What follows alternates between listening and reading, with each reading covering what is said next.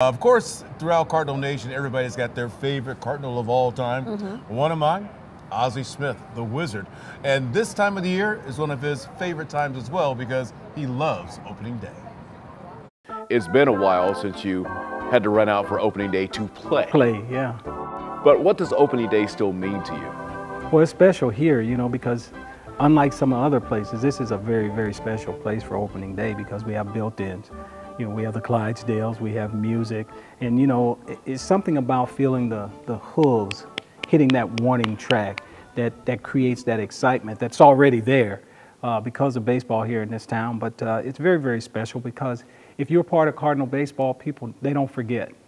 They don't forget, and it's, it's an excitement like you wouldn't believe. And um, you know, I was lucky enough to be here for 15 years, and I became part of what was expected on opening day because first it was the Clydesdales, then it's Ozzie coming out doing a flip. You know, so, so, so to be a part of that really was was really, really, really special, and uh, I consider myself very fortunate to have had the opportunity to play here.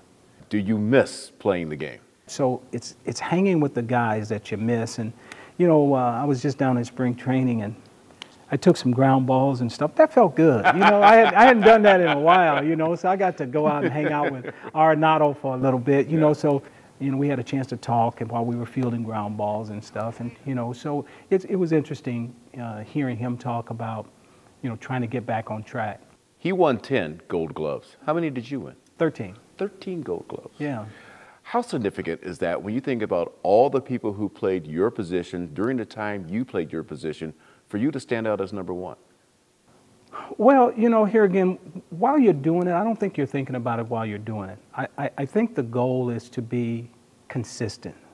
You know, and if, if you're consistent, then all of those other things take care of themselves over the long haul of a, uh, of a, of a long career. You know, uh, I played for 19 years and, and um, I was able to win 13, 13 gold gloves, you know, so that's pretty, that was pretty nice. Yeah. When it's all said and done. You're kind of like the Beyonce of baseball when it comes to that. Except for she's got the gold albums and, Oh, and gold the album, Grammys. and now- and now she's gone country.